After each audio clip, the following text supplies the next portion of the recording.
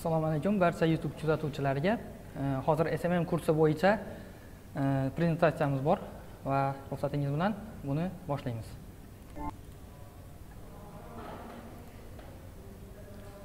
Ho'p avvalambor o'zimni tanishtirib o'tsam e, ismim bobur bekberganov yoshim yigirma birda rossiyaning tambov davlat universitetida ikkinchi kurs talabasiman smmni texnikum school va space academy o'quv markazlarida o'rganganman. Xo'sh data o'quv markazida smm mutaxassis bo'lib faoliyat yuritib kelaman. E, amaliyotni e, abutek kompaniyasi va najot ta'lim o'quv markazlarida o'taganman. Ho'p ko'pchilik so'raydi smm nima o'zi? E, keling bunga batafsilroq to'xtalib o'tishga harakat qilamiz.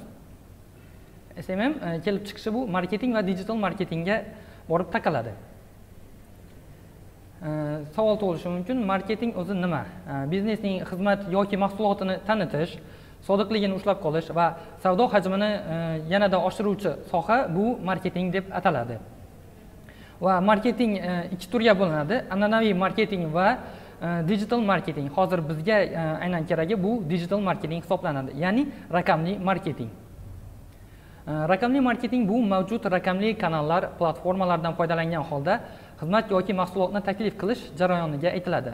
Misol uchun siz kundalik ko'radigan televizordagi reklamalar ham bu digital marketingga kiradi. Ko'chalarda ko'radigan monitorlaringizdagi reklamalar ham bu aynan digital marketing hisoblanadi.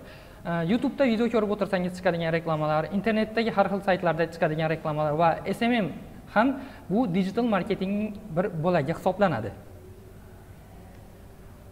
Ho'p.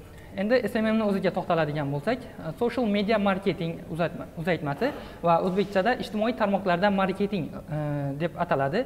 Boshqacha qilib aytadigan bo'lsak ijtimoiy tarmoqlar orqali brendlarni targ'ib qilish va mijozlarni jalb qilish hisoblanadi. Ho'p smm tarixi. Smm paydo bo'lgan haqida aniq bir sana mavjud emas. E, ammo taxminan ikki minginchi yillarning ikkinchi yarmidan boshlab smm paydo bo'lgan. Rossiyaga ikki ming sakkizinchi yillarda kirib kelgan bo'lsa o'zbekistonga taxminan ikki ming o'n ikki ikki ming o'n uchinchi yillarda smm sohasi kirib kelgan.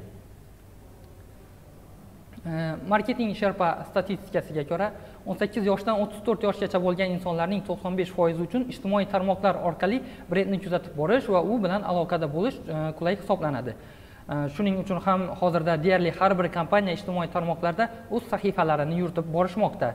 Smm mutaxassislariga esa hozirda talab juda katta.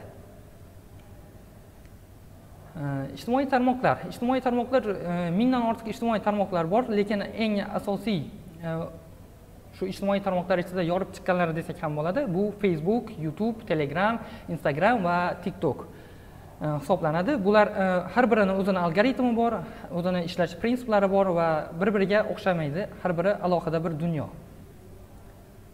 Ho'p ijtimoiy tarmoqlar e, ko'pgina ijtimoiy tarmoqlar bejizga ko'k rangni tanlashmagan. Bu orqali foydalanuvchilarning ijtimoiy tarmoqlarda ko'p vaqt sarflashini psixologik jihatdan osonlashtiradi. Chunki inson e, moviy va ko'k ranglarda qaraganida ko'z toliqishi e, juda past hisoblanadi va ijtimoiy tarmoqlarda ko'proq vaqtini sarflaydi. Va bu ijtimoiy tarmoqlar uchun albatta foyda keltiradi. Chunki ular ko'proq reklama qilishi mumkin o'zini obunachini o'zida ko'proq vaqt olib qolib biladi. Ho'p ijtimoiy tarmoqlar siz haqingizda ko'p narsa biladi. Siz o'ylashingiz mumkin meni e, shaxsimni aniq bilmaydi deb o'ylashingiz mumkin. Siz masalan facebook akkaunt ochadigan bo'lsangiz ismingiz familiyangizni telefon raqamingizni o'zingizning tug'ilgan sanangizni oyi va kunigacha hatto kiritib chiqishingiz mumkin va o'zingizni jinsingizni ham e, kiritasiz. Qo'shimcha e, qo'shimcha tarzda o'zingiz e, qaysi shaharda yashashingiz e, qaysi maktabni bitirgansiz qaysi oliygohni tamomlagansiz va hozirda qaysi kasb egasi ekanligingizni ham yozib qo'yasiz. Shunaqa insonlar baribir albatta ko'p. Va qo'shimcha xavfsizlik uchun telefon raqamingizni ham kiritasiz. Va bu orqali siz e, facebookning databeyziga o'z ma'lumotlaringizni kiritgan hisoblanasiz. E, facebook bu ma'lumotlarni yig'ib oladi va e, nima qiladi deb o'ylaysiz?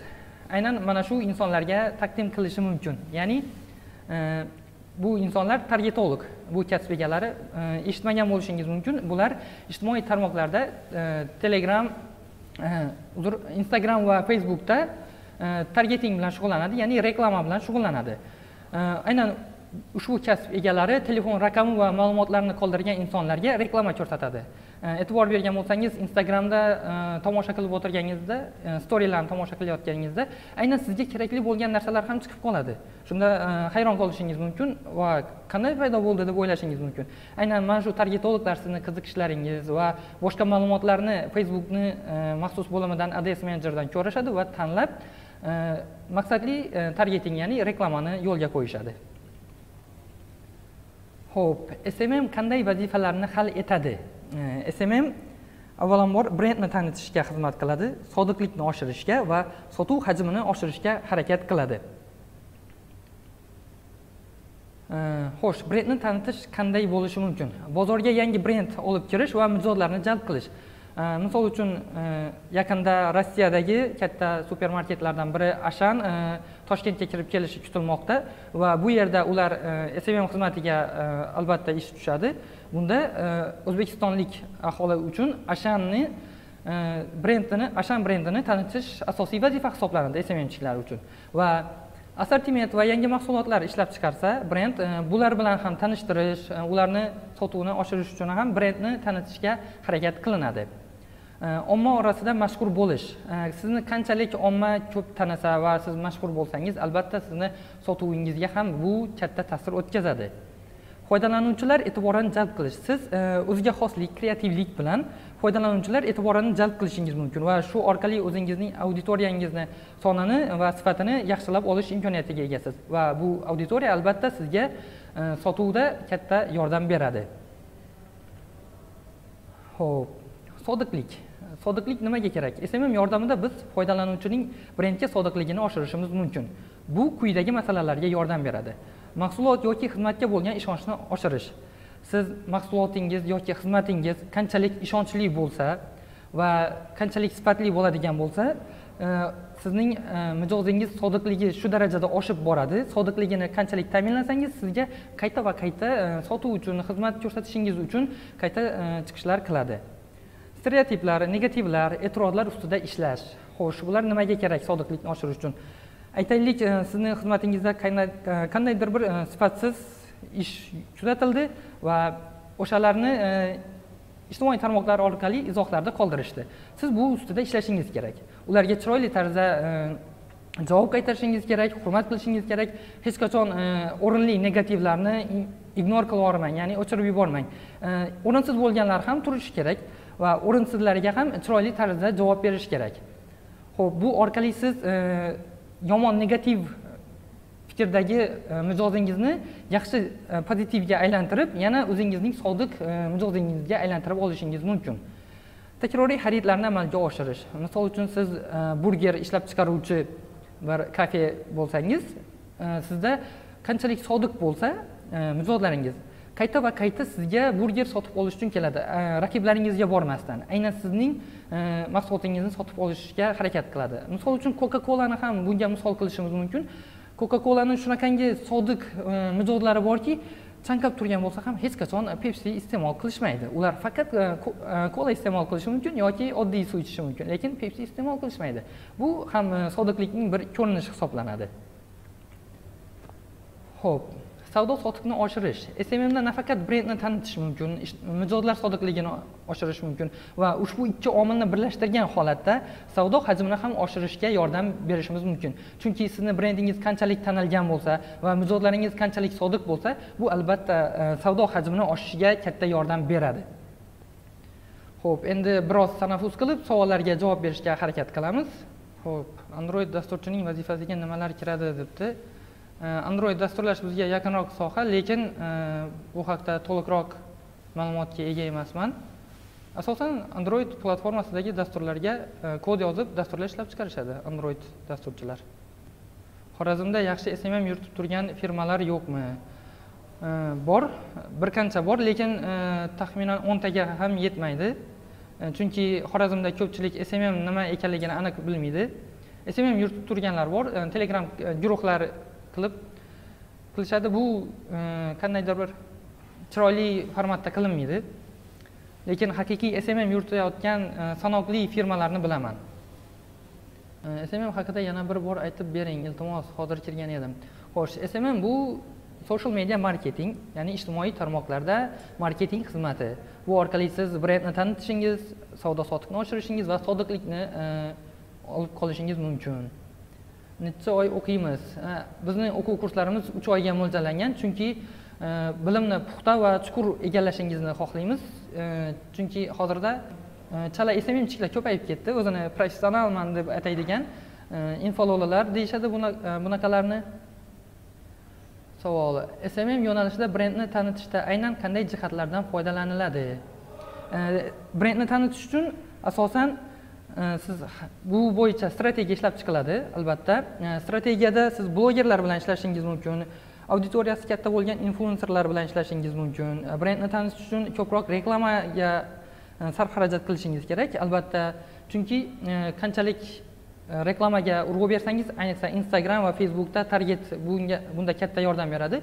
Chunki siz aynan maqsadli auditoriyangizga tegishli bo'lgan reklamalarni berasiz. Э, datada smmni o'qib rossiyada shu sohadan faoliyat yuritib bo'ladimi? Э, har bir sohada э, masalan smmda har bir davlatni o'ziga xos uslublari bor. Ma'lum bir qoidalar o'zbekistondagi qoidalar rossiyaga to'g'ri kelishi mumkin rossiyadagilar e, o'zbekistonga to'g'ri kelishi mumkin lekin qayerlardadir e, qayerlaridadir kesma qolishi mumkin. E, misol uchun tone of voice degan narsa bor. Bunda mijozlar bilan aloqa qilish. Rossiyada ba'zi bir nima smmlar so'kinib muloqot qiladi va bu bizning e, nimamizga o'zbekistonga to'g'ri kelmaydi.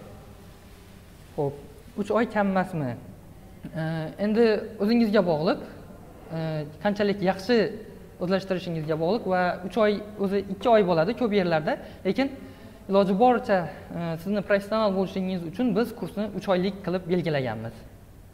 Xorazmda smm agentstva yo'q. Endi xorazmda smm agentstvolari endi paydo bo'lishyapti. Ho'p datada smmni e, birgina man yuritmayman. E, hamkasblarim ham bor. E, biz bir katta jamoa bo'lib yuritamiz. Hrlar smmdan xabardor bo'lishi kerakmi? Smmdan o'zi bu ham bir bilim. Hamma xabardor bo'lgani yaxshi albatta. Hrlar endi baribir mani tushunishim bo'yicha bular xodimlar bilan ishlaydi. Savdo sotiq bo'limiga hrni manimcha aloqasi yo'q. Lekin bilib qo'ygani yaxshi chunki agar uni xodimlari smm xodimlari bo'lsa qayerda xatolar qilayotganligi yoki unga qanday yordam kerakligini o'z maslahatlarini berib borishi mumkin. Smm bilan foydalanish uchun qanday dasturlardan foydalaniladi? Shu oddiy telegram har kuni ishlatadigan dasturlarimiz instagram facebook tiktok youtube asosan mana shu platformalarda smm yuritiladi o'zbekiston sharoitida. Yaxshi savol berilibdi smm kursini tugatgandan so'ng ish topishga yordam berasizlarmi? Ha e, chunki e, xorazm e, bozorida yigirma ikki mingdan ortiq tadbirkor mavjud va man biladigan smmchilar o'ttiztacha ham chiqmaydi xorazmda. O'ttiztadan ham kam smmchilar bor va yigirma ikki mingta tadbirkorni to'ydirish uchun smm bilan to'ydirish uchun hali yaqin ikki uch yilda ham bu bozorni to'ydira olmasligimiz mumkin. Albatta ish topishga yordam beramiz. Data o'quv markazini o'zida ham ishlab qolishingiz mumkin agar yaxshi smm menejer bo'lsangiz va bizda yana shuni aytib o'tay data ish kanali mavjud va bu yerda smm bo'yicha vakansiyalar berib boriladi man datada avval front endda o'qiganman o'qituvchilar yaxshi lekin o'qish oyi ko'p juda iltimos kam qilsa bo'ladimi asosan bizda it sohasiga doir kurslar o'tiladi va bunda siz bir ikki oyda o'rganishingiz murakkabroq bo'ladi. E, endi smmda uch oy ikki oy normal holat hisoblanadi. Lekin dasturlashda bu uch oy kamlik qiladi. Asosan olti oy bir oylab e, bir yillab o'rganish maslahat bergan bo'lardim. Datada blogerlik darsi bormi? E, ho'p hozircha datada blogerlik darsi yo'q. Keyinchalik shaxsiy brendni rivojlantirish bo'yicha ham kurslar qilish niyatidamiz. Eng yaxshi smm yuritadigan firmalarni aytib bera olasizmi deyishyapti. Bir ikkitasini toshkentda aytishim mumkin. Juba marketing e, gif uch ustozlarimning e, marketing agentsiyalari hisoblanadi. Shular yaxshi smm yuritishadi. E, smm o'rganishda kompyuter kerak bo'ladimi? Kompyuter kerak bo'ladi. Telefonda ham qilishingiz mumkin lekin kompyuter ancha qulayroq hisoblanadi. Shuning uchun noutbukingiz bo'lgani yaxshiroq. Ho'p qancha so'm deb e, so'rashyapti. Smm kursi oyiga yetti yuz ellik ming so'm va uch oy davom etadi. Ho'p endi e, prezentatsiyani davom qildiramiz.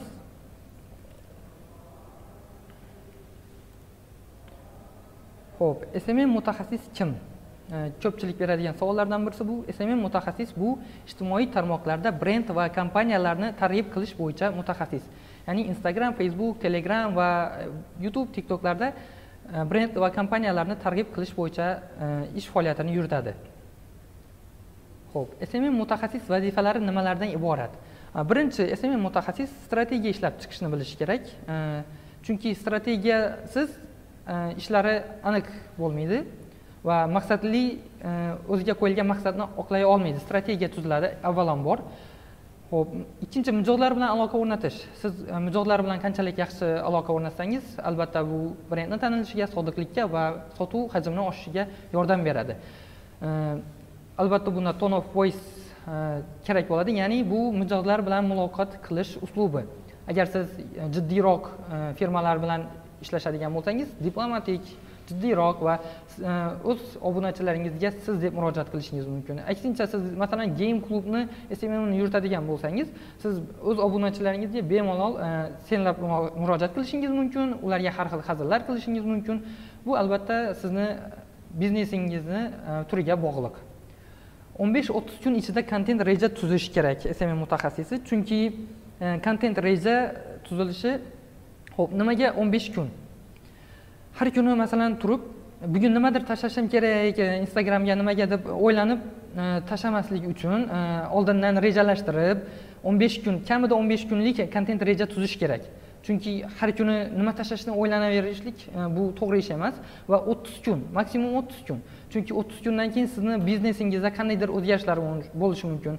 Э, qandaydir aksiyalar bo'lib qolishi mumkin. Shuning uchun e, kontent rejangiz o'zgarib ketish ehtimoli bor. Ora orada o'zgarishi ham mumkin. Bu juda yam qo'rqinchli narsa emas va kontent reja asosan o'n besh o'ttiz kun ichida tuziladi.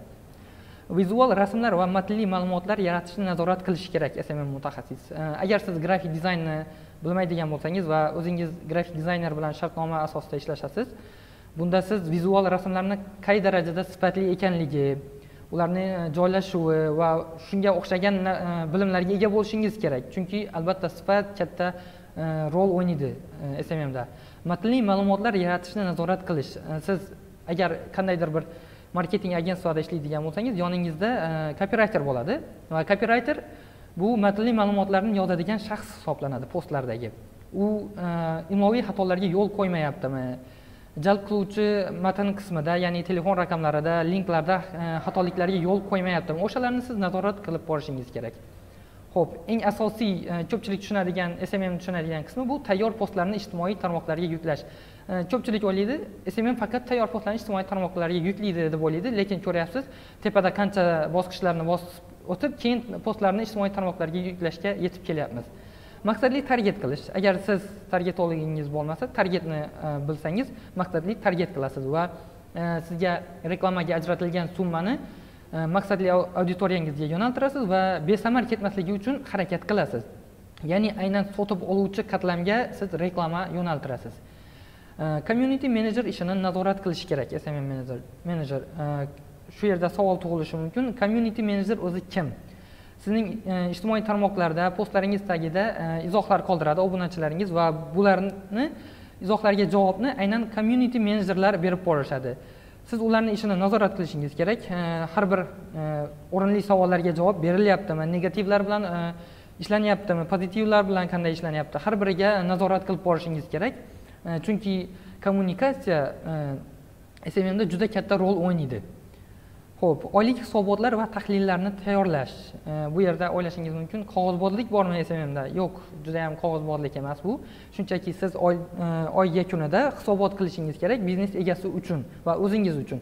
Xo'sh bir oy ichida qancha obunachiga erishdingiz qancha sotuvga erishdingiz qancha potensial lidlar bo'ldi sizda va reklama uchun ajratilgan pul o'zini oqladimi?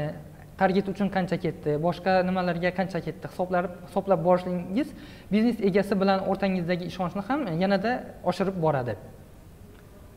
Ho'p uch oylik kurs davomida nimalar o'rgatiladi? Eng avvalo e, marketing va smm asoslari o'rgatiladi. Chunki asos qanchalik e, pishiq mustahkam bo'lsa imorat ham shunchalik mustahkam bo'ladi. Shuning uchun avvalo marketing va smm e, asoslari puxta chuqur o'rgatiladi. Keyinchalik raqobatchilarni tahlil qilish o'rgatiladi. Nima uchun raqobatchilarni tahlil qilish kerak? Chunki raqobatchilaringiz bilan aynan siz bir xil xizmat turi yoki mahsulot ishlab chiqarishingiz mumkin. Va bu yerda ularning ustun tomonlari qayerda ular e, izohlarga qanday javob berishyapti? Va shunga o'xshash svot analiz qanday qilinadi? Ularning ustun tomoni zaif tomoni bizdan ustunmi? Yoki biz e, qaysidir e, jihatdan ustunmizmi ulardan? Obunachilar soni va vizualizatsiyasi qanaqa grafikalar yaxshi qilinyaptimi o'shalarni raqobatchilarni tahlilini qilishni o'rganamiz. Ho'p keyin maqsadli auditoriyani aniqlash. Maqsadli auditoriyani e, aniqlash nima uchun kerak? E, misol uchun bolalar kashasi e, bilan siz shartnoma qilgansiz va smmni yurityapsiz. Xo'sh sizning maqsadli auditoriyangiz kim? Ko'pchilik e, shu joyida o'ylaydi e, kashani yosh bolalar yeydi chaqaloqlar yeydi va buni maqsadli auditoriyasi chaqaloqlar deb o'ylaydi. Va bu juda katta xato chunki chaqaloqlar e, instagram va telegram facebookga chiqmaydi. Ularni hali potensiali bunga yetmaydi.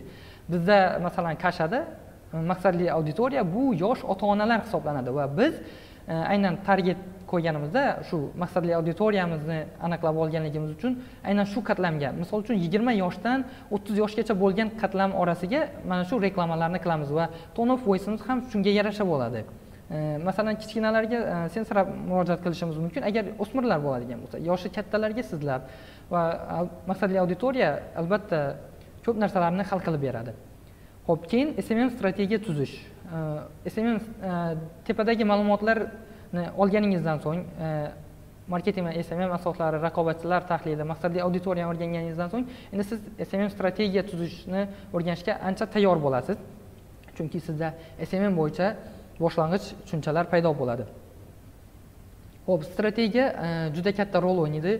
Qanday maqsad qo'yishingiz qachon va qancha oydan keyin qancha e, obunachiga ega bo'lish kerak qancha oydan keyin qancha sotuvga erishish kerak. Shunga o'xshash e, nimalar bo'ladi strategiya ichida va kurs davomida bular puxta chuqur qilib o'rgatiladi. Kontent reja tuzish e, boya aytganimdek kontent reja o'n besh kundan o'ttiz kungacha bo'lgan muddatda tuziladi va bunda kontent rejada siz rasmli postlar video yoki matnli postlar tayyorlab borishingiz mumkin. Э, aynan qayerda э, qaysi platformada qaysi biri yaxshiroq ekanligini tushuntirib beramiz. Misol uchun instagramda asosan rasm va e, videoli postlar yaxshi bo'ladi. Chunki e, e, ko'pchilik u yerda tekst o'qish uchun kirishmaydi. Asosan chiroyli rasmlar ko'rish va videolar ko'rish uchun kiradi. Tiktokda faqat video ko'rish uchun kiriladi. Youtubeda masalan misol uchun siz matnli postingizni telegramda berishingiz ancha qulay hisoblanadi. Ho'p uch oylik kurs davomida yana dizayn asoslarini o'rganasiz. Boya aytganimdek dizayner bilan ishlash jarayonida siz e, dizayn asoslarini bilsangiz dizayner qayerda qanday xatolar qilayotganligini ham e, unga feedbacklar berib borishingiz ancha oson bo'ladi. Shuning uchun ham dizayn asoslarini o'rganishingiz e, kerak bo'ladi. Video montaj asoslari ham kerak chunki siz e, frilanser bo'lib e, faoliyatingizni yuritadigan bo'lsangiz shunday e, bir vaziyatlar bo'lib qolishi mumkin. Videoni e, montaj qilishingizga to'g'ri kelib qoladi. Shuning uchun e, har ehtimolga qarshi albatta video montaj asoslarini ham o'rganib qo'yganingiz zarar qilmaydi. Ho'p kopirayting e, bu matn yozish. Chiroyli matn yozish chiroyli sarlavhalar oxirida jalb qiluvchi qismi ya'ni sotib olish uchun telefon raqamlar yoki direktga yo'naltiruvchi tekstlar yozish ham kopirayting kerak bo'ladi. Ayniqsa frilanserda ishlayotganda siz dizaynni ham video montaj kopiraytingni ham chuqur puxta bilishingiz kerak. Kopirayting asoslari qanday e, sarlavhalar jalb qiladi? Qaysilari sotuvga qaysilari interaktiv postlar uchun ishlatilishi kopirayting darslarimizda o'rgatib boriladi. Ho'p endi endi esa e, telegram instagram youtube va tiktok e, va facebook ijtimoiy tarmoqlarining e, texnik tomonlarini ham o'rgatamiz kurs mobaynida. E, ko'p joylarda texnik tomonlar o'rgatilmaydi. Instagramda qanaqa sodlash biznes akkauntga qanaqa qilib o'tirishni smmchilar bilmaydi ba'zi birlari. Bular juda yam oson e, agar biladigan bo'lsangiz youtubeda xo'sh youtubeda e, youtube kanal ochish uni boshqa ijtimoiy sahifalaringiz bilan qanday qilib bog'lash uning orqa fonlari va umuman olganda youtube kanalingizni upakovka qilish ya'ni qadoqlashni chuqur puxta qilib o'rganasiz. Va tiktokda tiktok algoritmi unda e, qanday postlar ya'ni videolar rekomendatsiyaga chiqishi va shunga o'xshash foydali ma'lumotlar beriladi. Ho'p e, community management o'rgatilinadi kurs davomida. Chunki siz e, boya aytgandek e, negativlar bilan qanaqa ishlashni o'rganishingiz kerak?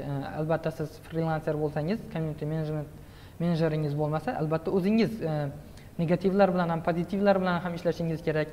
Misol uchun shunday keyslar bo'lib qoladi. Obunachilaringiz sizdan direkt biznes egasining raqamini so'rab qolishi mumkin. Mana shunaqa paytda siz agar community managementni yaxshi puxta bilmasangiz e, qo'pol xatoga yo'l qo'yib qo'yishingiz mumkin. E, ho'p keyin e, telegram target o'rgatiladi. Telegramni o'zida reklama berish imkoniyati mavjud emas. Aynan dastur orqali biz telegramda reklamani telegram kanallar botlar orqali berib borishimiz va guruhlar orqali berib borishimiz mumkin va bunda ko'pchilik kanallar e, nakrutka qilib qo'yadi. Ya'ni sun'iy obunachilar sonini oshirib qo'yadi. Aynan telegram targetda buni yaxshilab o'rganamiz. Aynan qaysi kanallar nakrutkadan foydalanyapti? Buni e, qanaqa qilib bilish mumkin? O'sha tomonlari telegram target darsida o'rgatiladi. Instagram target va facebook target. Bular e, juda ham optimal ijtimoiy tarmoqlar o'zbekistonda va bunda ads menejerdan foydalangan holatda target sozlash maqsadli auditoriyangizga aynan maqsadli auditoriyangizni bilishligingiz aynan mana shu joyda asqotadi. Ya'ni siz facebook va instagramda o'z maqsadli auditoriyangizni topishingiz judayam oson. Telegramda bu imkoniyat judayam past. Masalan siz reklamani kunuz sayt, e, saytining telegramdagi sahifasiga bersangiz u yerda e, siz burger ishlab chiqaruvchi bo'lsangiz yoki mashina e, bo'yicha reklama berayotgan bo'lsangiz mashinaga qiziqmaydigan inson ham bor u yerda. Boshqa e, qiziqadigan ham bor. Lekin instagramda va facebookda siz aynan mashinaga qiziqadigan insonlarga reklama berishingiz mumkin va influenserlar bilan ishlash ya'ni influenserlar bular kimlar? E, blogerlar vaynerlar jurnalistlar va o'zining katta bir auditoriyasiga ega bo'lgan shaxslar influenserlar deb ataladi va ular bilan reklama qanday ishlanilishi brendni targ'ibotida qanaqa ishlanilishi e, kurs davomida o'rgatiladi. Va oxirida qanaqa qilib loyiha olish ya'ni biznes egasi bilan qanaqa muloqot qilish va uning biznesini smm e, yuritib berishga ko'ndirish va shunga o'xshash e, realniy keyslar bilan e, ma'lumotlar berib boramiz. Ho'p e'tiboringiz uchun rahmat. Endi savol javobga o'tamiz. Э, savol. Bitta o'rtacha markaz uchun smm sohasida minimal nechta odam yuritadi? Albatta e, smm jamoasi tuzmoqchi bo'lsangiz sizga bitta grafik dizayner kerak operator video montajchi kerak e, kopirayter kerak e, targetolog ham kerak bo'ladi. Agar targeting kopirayting community managementni smmchikingiz o'zi qila oladigan bo'lsa nur ustiga alo nur va smmchik o'zi community management copywriting targeting ishlarini ham o'zi olib borishi mumkin. Va bunda sizga katta yordam berishi mumkin bu smmchik siz qayerda o'rgangansiz? E, boya aytib o'tganimdek man e, smmni e, texnikum schoolda va space academyda o'rganganman. Amaliyotni najot ta'lim va abutek digital kompaniyasida olib borganman. Ho'p tajribamni so'rashibdi. Ha tajribam bor. E, taxminan ikki yilga yaqin tajribam bor. Avval e, telegram kanallar va youtube platformasida faoliyatimni boshlaganman. Keyinchalik smmni butun sohasida e, o'z faoliyatimni boshlaganman. Smmda maksimum qancha daromad topsa bo'ladi? Bitta inson yaxshi smmchik realniy aytaman to'rttadan ortiq nima olishi proyekti loyiha olishi qiyin. Chunki siz o'ntalab loyiha topishingiz mumkin lekin e, ulgurmaysiz. Jismoniy tarafdan e, bunga ulgurmaysiz va hammasini yo'qotishingiz mumkin. Va o'rtacha uch yuz dollarlik loyihadan to'rtta olishingiz sizga e, yaxshi daromad keltira oladi. Bir ming ikki yuz dollar daromad keltirish bu albatta yaxshi. Yana pulga qiziqtirishyapti deb o'ylamang savol uchun javob berib ketyapman. Yoki siz yaxshi bir loyihadan besh yuz yoki ming dollarlik loyihadan olib qo'yishingiz mumkin. Ho'p youtube kanalingiz bormi? Ha youtube kanalimiz bor lekin hozirda aynan ishlamayapti. Faoliyati vaqtincha to'xtagan. Smmchik bo'lib bir vaqtni o'zida bir nechta e, firmalarda ishlash mumkinmi? Ha mumkin. E, hozir aytganimdek to'rttadan ortig'i ko'plik qilishi mumkin va o'rtacha uch yuz dollardan oladigan bo'lsangiz ming dollardan oshiq daromad topishingiz mumkin. Ho'p xorazmdan turib smm sohasida chet elga ishlasa bo'ladimi? Man shunaqa nima eshitganman. E, koreyadagi o'zbeklar uchun e, o'zbekistondan turib ishlayotgan smmchik mavjud va u yerda e, koreyada ham vatandoshlarimiz ancha ko'p bo'lganligi uchun e, koreya o'zbekistondan turib koreyadagi o'zbeklar uchun smm yuritayotgan kasbdoshlarimni bilaman. Ho'p instagram savollar. Assalomu alaykum yaxshimisiz? Menga smm kerak edi instagram profilimga. Ho'p smm kerak bo'ladigan bo'lsa bog'lanishingiz mumkin. E, Instagramda o'zimizni sahifamiz bor e, va bu yerda gaplashib olish mumkin va bu e, iloji bo'lsa smm kurs bo'yicha savollar bering. Agar o'zingiz o'rganmoqchi bo'lsangiz marhamat kurslarimizga va o'zingiz o'rganib o'zingizni ijtimoiy tarmoqdagi sahifalaringizni o'zingiz yuritishingiz mumkin. Smm bo'yicha video darslar qilinmagan. Yaqinda video darslar qilishga harakat qilamiz. Onlaynda ham smm o'rgatish rejalarimizda bor. Ho'p kurslar narxi e, so'rashibdi. Kurs narxi yetti yuz ellik ming so'mdan uch oylik kurs bo'ladi. Har oyiga yetti yuz ellik ming so'mdan.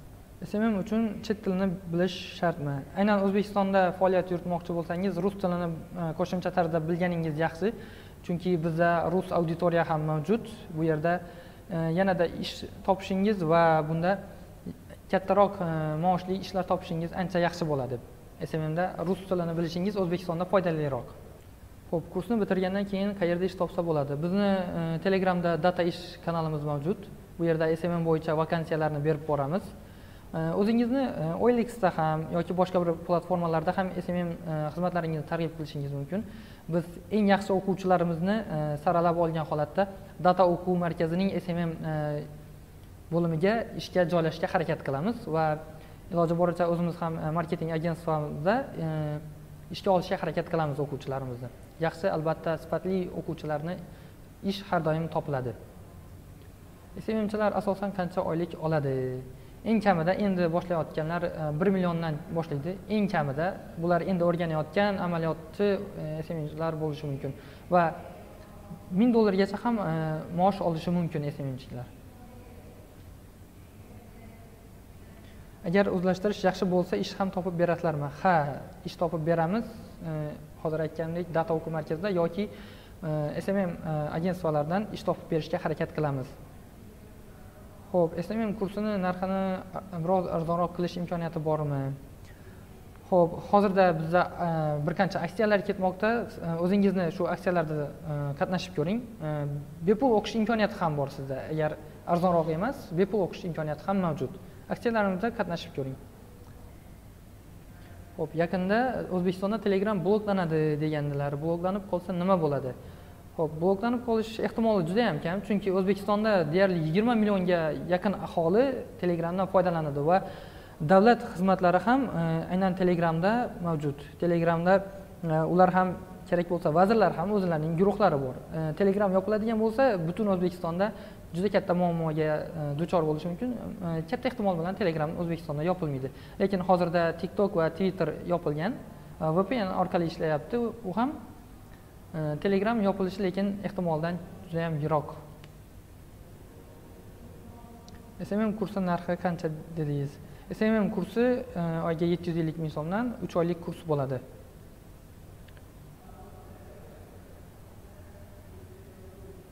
Э, smm haqida ma'lumot э, so'rashyapti yana. Э, smm bu ijtimoiy tarmoqlarda marketing bilan shug'ullanish e, brend yoki e, biznesni e, ijtimoiy tarmoqlarda tanitish uni sotuv hajmini oshirish unga obunachilarini mijozlarini yanada sodiqligini ta'minlashga harakat qilishadi.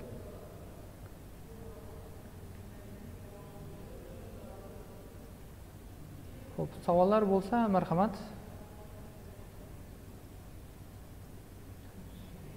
Agar savollar bo'lmasa e, jonli efirimizni yakunlaymiz. E, e'tiboringiz uchun rahmat. Sog' omon bo'linglar.